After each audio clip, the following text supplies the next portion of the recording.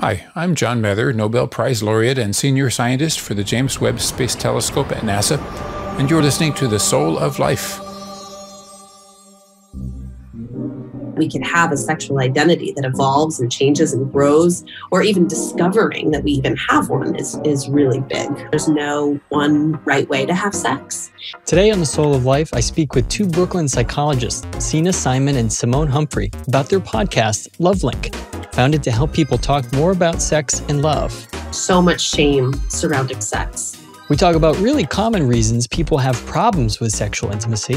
Penetration and orgasm, like that, that sort of traditional model of what sex is. What happens before sex? What happens during sex? What happens after sex? What's the appetizer? What's the entree? What's the dessert? The power of discovering the difference between arousal and desire a lot of women in heterosexual couples come in and say, you know, I just don't really don't want to have sex. Like, and I think I have really low desire. I don't know what something is wrong with me. The problem is that the standard of arousal is spontaneous desire. That that's what we're right. that's what we're taught in movies. That's what we're taught in just our kind of day-to-day interactions that we should just be turned on automatically. And for men too, who experience more responsive desire, they also have a lot of shame. Well, I should just be horny all the time. I should want to have sex whenever. And we talk about how millennials are having sex. The DSM talks about deviant sexual behaviors, anything kind of related to BDSM. It's a really difficult taboo for a lot of therapists to shift out of. If you're engaging in some kind of harm, there must be something wrong with that. And does marriage matter anymore? Successful open relationships often require more communication than I think monogamy, which when it works, it really works. Welcome to episode 19 of season two of The Soul of Life. I'm Keith Miller, and this is letting go of the right way to have sex.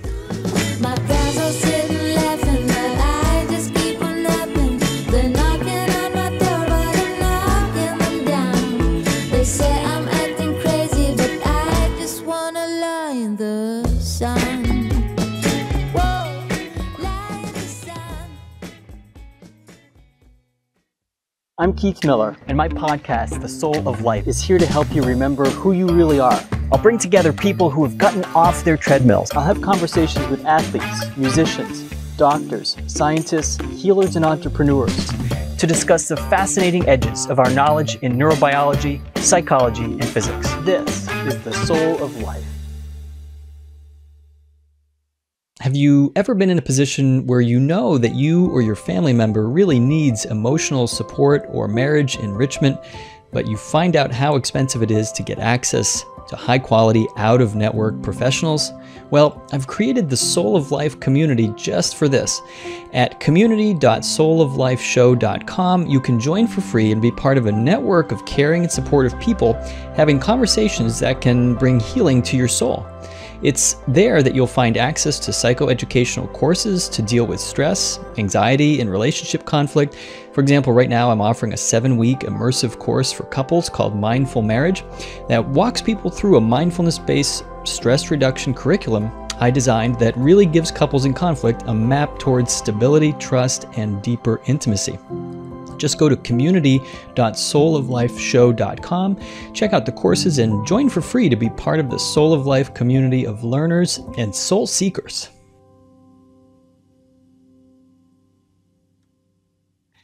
LoveLink is a podcast produced by two Brooklyn psychotherapists, Signe Simon and Simone Humphrey, who interview psychologists, astrologers, researchers, and others to find out the hidden wisdom around all things love and sex. And I'm here today with Signe and Simone. Hey, how are you? Hi, Hi. Keith. So Thanks nice to be here. Us.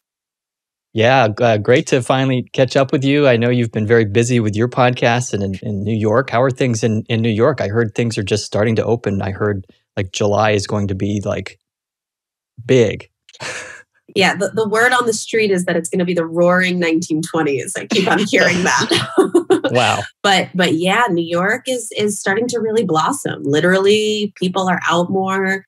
Um, there, you know, there's there's fewer people wearing masks outdoors, which is I think a, a real shift that happened recently this week. Um, yeah, so it feels like it's it's kind of starting to emerge into post pandemic life, perhaps. Right.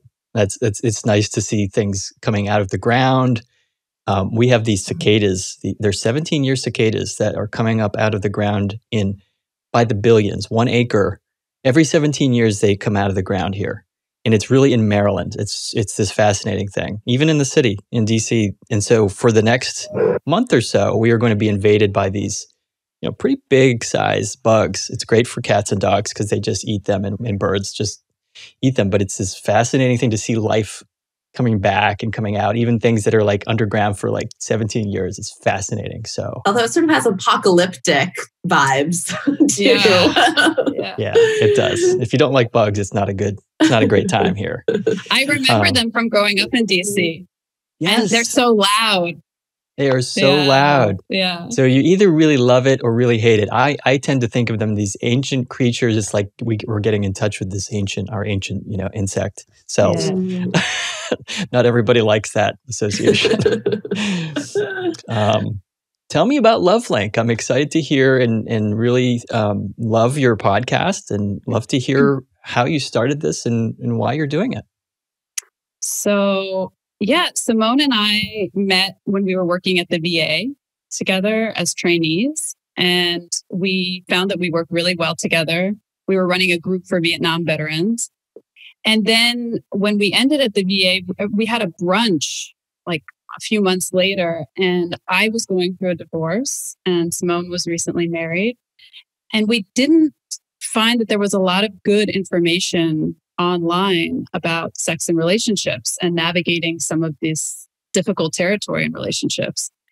And so we decided that we wanted to start an online platform for people uh, where we would interview researchers and clinicians in the field around issues of sexuality and relationships, and where people could really get some good information that was more in depth rather than, you know, uh, top 10 ways to navigate a breakup, you know, but that where there was really some meat and um yeah. So that's how it started and then we've expanded it out to be a, a platform where we're more exploring the relationship to self and other. It's no longer only sexuality and relationships. Right. Right. There's such an audience for it, right? And I imagine you you hear from people about how how much this topic needs to be talked about. We seem to be a sex positive culture. If you look at media, it seems like there's sensuality and and that and, and eroticism in, in a lot of themes in our media, but we're really not that open about sex, are we? No, absolutely not. And and Signe and I were so interested in romantic relationships, and I think in our training and in the field, there there's not a lot of exposure that people get. And so this was sort of both our way to promote, but also our way to educate ourselves and, and expose ourselves to the language, to talking about sex, to kind of pushing through that taboo of discomfort. Right. And I think professionally, and maybe you're experiencing this too, Keith, that eh, you know when we're when we're psychologists, you're oftentimes in a very uh, limited context. You're seeing patients, you're doing psychotherapy. And so it's so nice professionally to be able to expand um, like the arenas that we work in. And it's been so amazing to work with a partner too, that we can be creative in, that we can be playful in.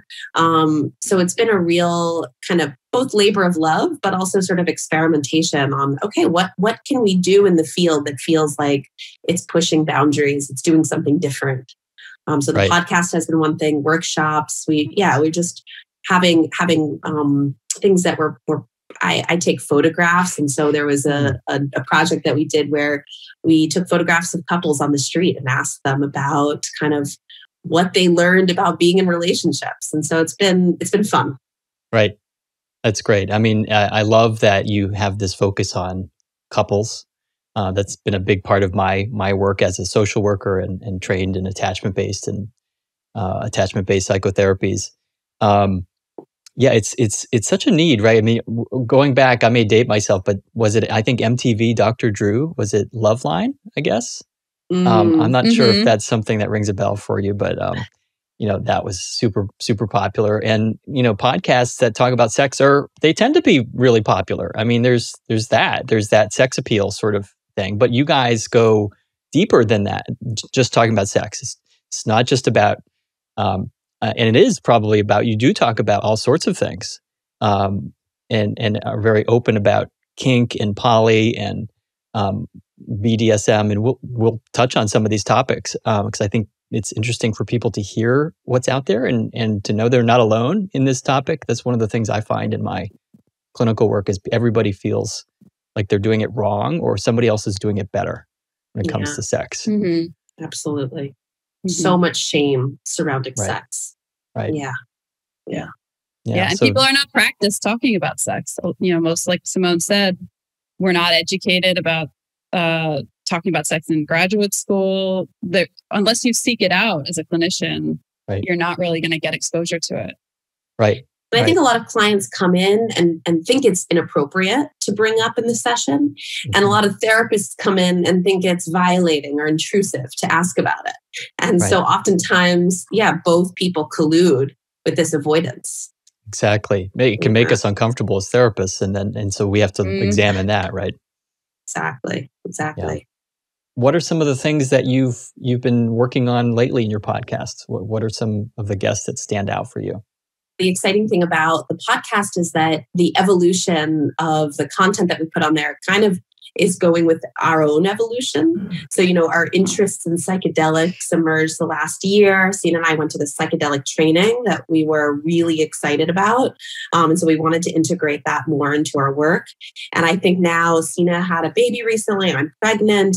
The, the sort of congrats. thank you starting to to also bring in more parenting um, and and romantic life within the parenting context but also just what it's like to be a parent so i think it's it's been really exciting to see how how we can evolve Right. um yeah yeah So broadening from from really just focusing on sex to, to all of life, right? absolutely and something we've been doing more recently too is is expanding into corporate culture Mm. you know i love that the podcast is great because it's just for the public and it just hits anyone that wants to listen and it's free um, but we're also really excited about yeah i think making impact rather than on a one-to-one level on a broader scale. And so going into companies and teaching relational skills has also been really exciting especially because we know so much of corporate culture is anti-relational um, and especially corporate culture has so much power in our society that it's been kind of exciting to think about okay how can we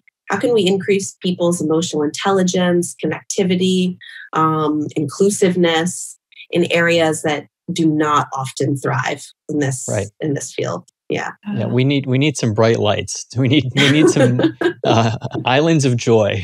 Yeah, yeah. out It's actually been really amazing. We've done a couple of corporate workshops and people love the material we present around, you know, attachment, around relationships because they don't get this information in life. Right. They don't there's no other, you know, they didn't go to graduate school for mental health. If you're not Right. in in therapy or not necessarily seeking it out online, you're not getting this information and they just seemed really excited about it uh, even in the corporate context Yeah. I, I wish we could have that in primary education, right? Sort of Oh relationship God. skills that'd 101. be And amazing yeah if we could all agree on like like this is important and these are some basics and you know this is not going to harm anybody by talking about sex when we're young and um colleges are doing that more. Like alexandra solomon teaches Yes. um, marriage 101 at northwestern. I know at rutgers um, dr karen rigskeen who is someone that i worked with at rutgers. Yeah they're, they're starting to, to introduce this more into college curriculums and they're booked i mean every single time they offer it it's like filled with a wait list so i Yeah. think that speaks to the, the real demand it tells you Mhm. where we should be creating our workshops yes i guess yes Yeah. absolutely Um, well, speaking of sex, since that's what I'm interested in talking about in, in- in part here, knowing that knowing that you have that background and and and comfort with talking about sex, what what are some of the themes that you've run into in your teaching? Um, what comes up in your clinical rooms, and you know what what do you find yourself saying to people in teaching? What themes, if there's any, that come up around sex and intimacy? I think the broadest theme, I mean, Signe and I were discussing this earlier, that we have to kind of constantly repeat to our clients and our workshops is the idea that there's no one right way to have sex. And I think so most people come in with certain assumptions, oftentimes very conventional, traditional, um, one model of how to have sex. And when you don't meet that expectation, there's a lot of shame or inadequacy or feeling like you're doing something, um, yeah, doing something wrong. And so I think just like putting it out there that there isn't one right way and and to really encourage curiosity about how they're thinking about sex and how they would like to be thinking about sex um, has just been a kind of huge shift, I think, mm-hmm. for people. And, right. and to really explore this idea of um, cultivating a sexual identity you know so often people come in and they think therapy is about kind of discovering themselves emotionally and relationally and all of that is really important but that that tends to be the focus. And this idea that we could have a sexual identity that evolves and changes and grows or even discovering that we even have one is is really big.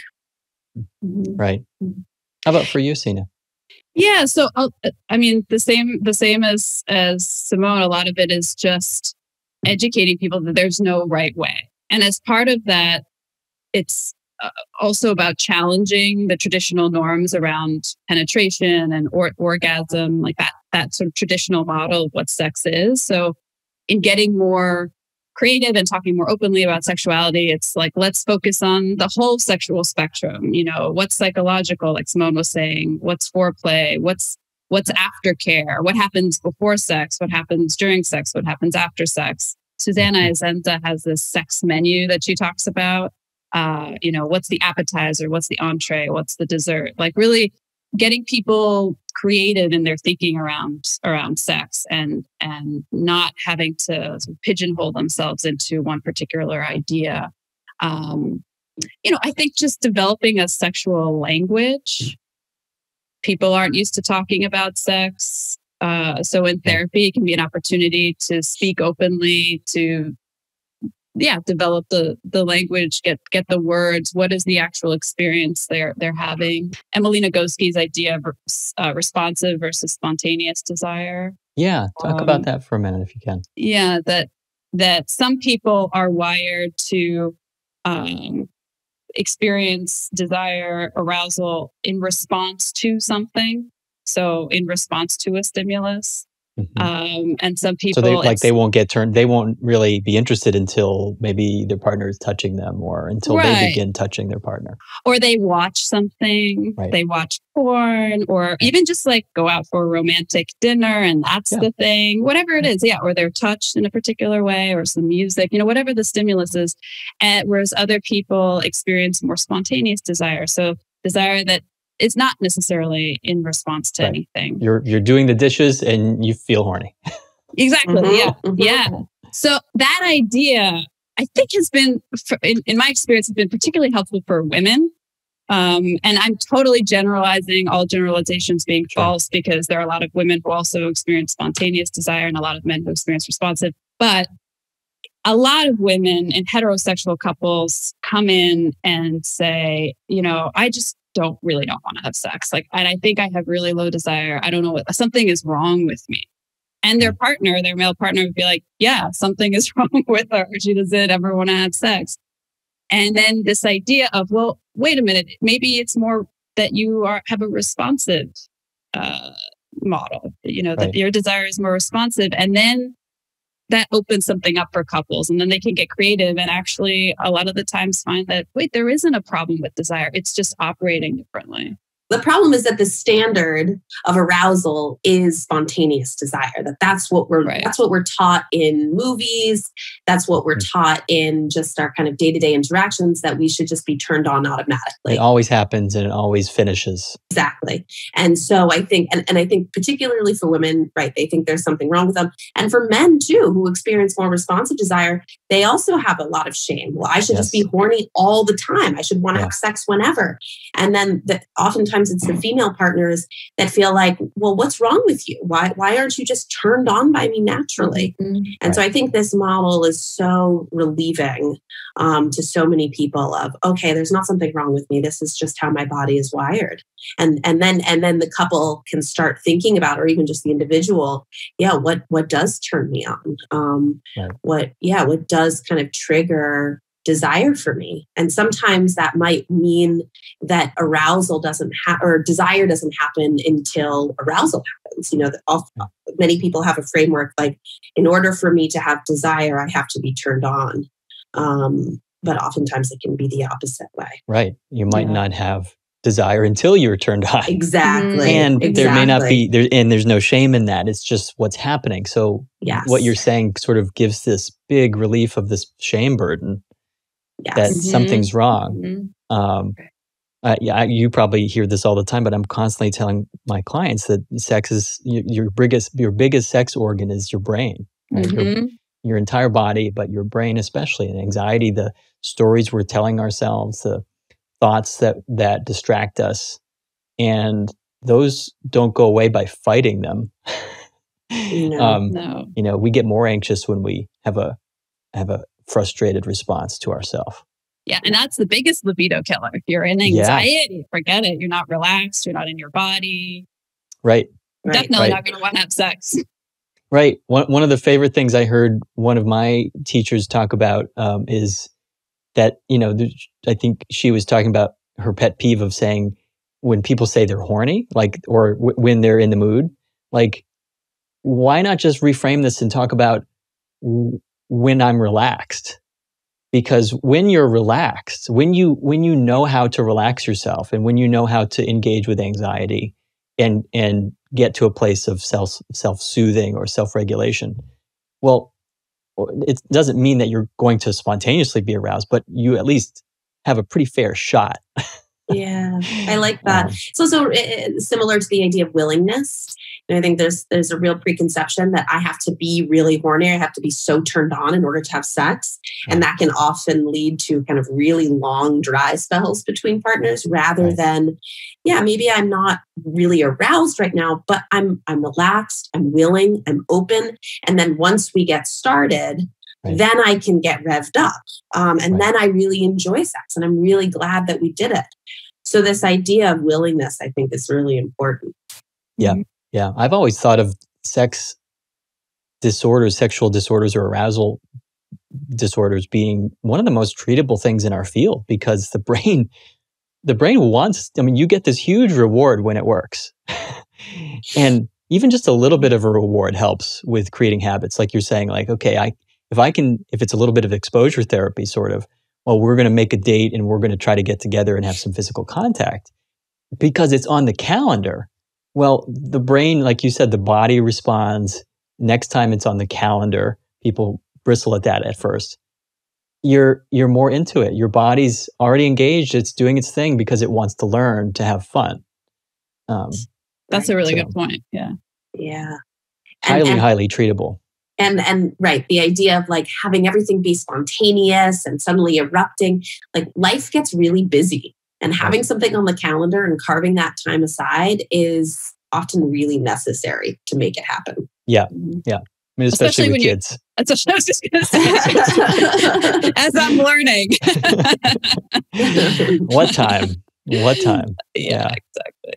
Yeah. yeah. Yeah. Just, yeah, being able to say, yeah, to, to coach parents around saying like they, they can say no to their kids. They can like, like they can, they can, kids can sleep in their own beds, for example. Like that can be, I mean, such a wonderful, you know, parental experience to have your kids be that accessible to you, but also watch out, right? Because that's your space and that's your intimate space. And that I, I know from talking to so many people that, that that doesn't come back unless you keep it, unless you hold it and right. create that. Mm-hmm. Um, uh, t- can we talk about being sex positive for a little bit? Because that's been something some people who are more conservative might kind of wonder, like, what does that mean?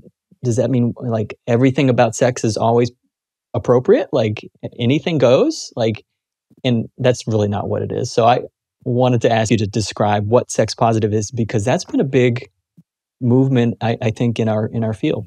Please take the time now to subscribe to the Soul of Life wherever you're listening. Give it a thumbs up or write a positive review. That's the best way to make sure you don't miss out on these amazing episodes planned for season two.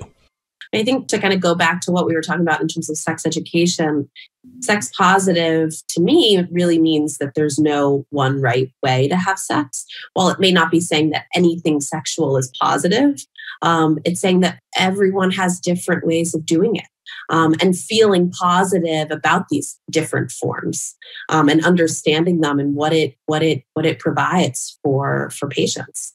Um, and also helping people to become comfortable with their sexual identity with their sexuality and also um, be open to the sexual behaviors of others um, especially when it involves consent um, and and comfort and yeah part of it is also as therapists being sex positive means being educated.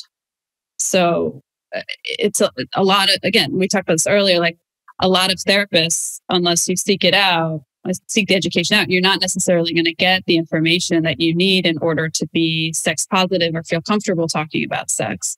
So, you know, uh, being exposed to different types of sexuality, talking about sex. I mean, all of this takes practice and getting comfortable. And that's, that's, and, and taking a curious rather than a judgmental stance.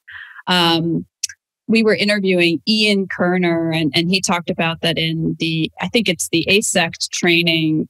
Um, they, as, as part of the training, therapists are exposed to different types of porn, um, and then they sit and talk about it. They talk about the, all the feelings that come up for them personally. That's the, um, the SAR, sexual assessment reorientation. I, that, I don't know what it's called. That's what it's called. Yeah. SAR. Yeah. And that seems really, really important work to do for all therapists, right? To be able to just to understand, you know, what are the blocks to talking about sexuality for me personally? You know, uh, practicing, g- getting more open and, and, and hearing about different types of sex and seeing different types of sexuality. So Ian Kerner's wildly popular book was She Comes First, right? That was the that was his big maybe he's had other ones too yeah, yeah well he has a new one coming out called so tell me about the last time you had sex mm-hmm, oh. mm-hmm. the opening question that he asks every couple in sex therapy ah, yes But I was going to mention Keith because you had you had sort of spoken about um, older therapists who sometimes have a have a harder time with this idea around sex positivity. And it, you know, it wasn't that long ago that the DSM talked about deviant sexual behaviors, and right. and and a lot of that, including, I mean, not just being gay as sexual deviants, but also um, anything kind of related to BDSM mm-hmm. and and pain. And so I think it's a really difficult taboo for a lot of therapists to shift out of, which is, oh, if you're engaging in some kind of harm, I'm putting that in quotes, that there must be something wrong with that. And I think as therapists, it is kind of murky waters because, on the one hand, people could be engaging in harmful sexual acts that are, are problematic. Um, and on the other, there's a lot of people that engage in BDSM and kink that where they where they really enjoy pain in this way, that it feels right. safe and there's a lot of pleasure that comes from it. And I think as therapists, we have to be really cautious and really um, curious about what it means, what it what it provides for them, um, the roles it serves, how it's happening, getting getting kind of more detailed answers before coming to any kind of assessment. Right. Because I've heard so many couples who go to a therapist who who actually that they're not even going to talk about their sex life is a problem. And then when they discuss certain behaviors or certain things that they engage in and they feel that judgment or they feel like their therapist is making it a problem for them, they, they lose them. Right. And there's the, the old cliche of like the the the therapist maybe maybe it's the analytical therapist the old school analyst who's um, all of a sudden gets really interested in this young female sex life like right like this sort of inappropriateness of that, but also the the level of the the the the onus being kind of on the client instead of the other way around. Mm. The the onus mm. be, should be on the therapist to engage and try to understand the story and the context mm-hmm. and the mm-hmm. meaning. Mm-hmm. Absolutely. And connect with their client. Now and and it, and it doesn't um disregard the fact that there there can be out of control sexual behaviors like that Absolutely. that is still a part of our practice to be helping people assess is this part of your life in balance with other parts of your life even if we're talking about drinking, for example, right. what is excessive drinking? Uh, so it can be hard to pin down, right? We can use the objective sort of by the book, or you can talk about how it works in your life and get to understand the context of how that person's system works. Right, right. Um, so I think having that attitude of sex positivity is really coming into it without coming in with judgment, really being right. open, really right. celebrating some of the things that feel really healthy, um, even if mm. they are unconventional. Right. And I think we have to remember that as therapists, we actually hold a lot of power. Right? People see us as experts. And so if we, you know, if we're judgmental of something or if we, uh, you know, uh, frame something as a problem, people, you know, people take that seriously. People don't really put up with a therapist that's not willing to do some self-disclosure and kind of say like i'm in this with you. And i can imagine like a, a couple coming in saying like you know we we want to know if we can trust you with yeah. what we're about to mm-hmm. disclose absolutely. I think i think especially for younger people you know Signe and i both work with a lot of 20s and 30 year olds and um, i will see people that have come from another therapist where they felt really uncomfortable because that therapist was so um, such a blank slate was coming from a more traditional analytic model. And so i think they really want to know are you a human? Um, can you respond to me? Do you have emotions? Um, can i ask you a question and you not be so equivocating and, and right. kind of mysterious? Right. is it a fair question or is it a weird question to say how are millennials having sex it's a fair question and and it's a tricky one because I don't know if there's any concrete answers or, or um, one answer. But you know, there's all of this research coming out that millennials and Generation Zers are having less sex, mm-hmm. um, which you know I think it's important for us to question, challenge some of the the research where they're getting this data from, how how the methods in which they've collected the data. Um, but you know, there there may be a point to that that that millennials are both having less sex but talking more about sex which is sort of a weird um, contradiction. Mm. and and i think something that i've really noticed is that a lot of younger people are very anxious. Um, they're having maybe harder times connecting to others. There's maybe more social isolation. Mm. so it can be harder to have opportunities to have sex is there a generation of people losing faith or have lost faith in marriage I think there's some truth to that beyond just the fact that uh, you know it's it's harder to get married. People people don't have as much money to get married. They don't have as many savings as they as they used to. Um, mm-hmm. but uh, yeah, I, I hear a lot of people talking about how divorce is so normal that why why bother getting married when when it's so it's probably inevitable that I'll get divorced. You know mm-hmm. this type mm-hmm. of this type of language. Um, I don't think people really, yeah, see the need to get married in the same way that they used to. There's not as much of a social pressure. I mean, there still is to a certain extent, but but less so. I think also it's interesting. You know, I'm originally from Denmark, and in Denmark, there's there's no advantage really to getting married. You don't get a tax benefit. Um, you know, there's no like need for health insurance from your partner. Uh, and and people don't get get married as often. Mm. Marriage mm. is really really on the decline. The anxiety of having one partner for the rest of your life like mm-hmm. seems scary. Right. I think a, a, more optimistic view is is also that people are thinking about relationships differently. That they're not necessarily thinking about one person for the rest of my life and more um, around satisfying relationships and finding someone that's a really good fit. And if and when we grow out of this, or if and when we evolve, that maybe we break up and that's not a failure, but we're looking for something different. Mm-hmm. Because I think people are putting, I also, I mean, on the flip side too there's a lot of high expectations around relationships i think more so than in the past um, this idea that a, a, partner really meets all of our needs um, versus just one need that might be more familial or, or domestic. And so when you put that much pressure on a person, um, it can be harder to to sustain forever. When you when you feel dissatisfied, right, um, you're more likely to end and, and find a partner that that feels better. Yeah, the more fractured we are in our social lives, the more pressure gets put on that one relationship and it's it's yeah. maybe arguably never meant to have that amount of pressure but absolutely um, mm-hmm. it, it, as we wrap up here it, it leads naturally to the idea of open marriage and uh, non-monogamous relationships um, i have come across people met people who are very enthusiastic about that and very you know they're believers they're they're uh, converts maybe they've gone down the other road and they've tried it and they've they're out for that reason. They're out. Um, so, what, what's your sense about that? I mean, I, I don't have personal experience with it, and, and I, I, would say I have a fair amount of skepticism um, myself about it being any better. Like it's like the grass is greener. One, you know, is one or the other. Each each has its own challenges. I don't know if what your experience is with. I think again, it comes down to there's no right way. Like for some people, this really works much better. And and once the stigma and shame is taken away, then that actually feels it feels really good to pursue yeah. an open marriage, open relationship, and people thrive. And some people, like you said, like I I have a couple now where the male partner has tried an open relationship before and it did not work for him. He got really scared, he got really anxious, it didn't feel safe.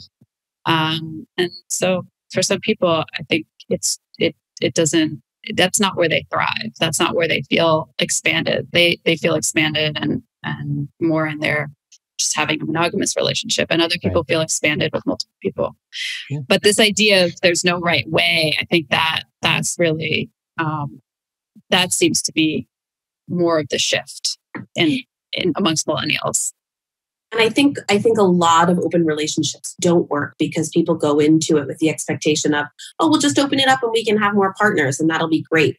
And and don't realize that actually successful open relationships often require more communication than I think monogamy. You have to really which which when it works, it really works because partners are able to talk about their feelings, challenge assumptions, really design their own relationship in a really mm-hmm. beautiful way. And I have seen it work really well.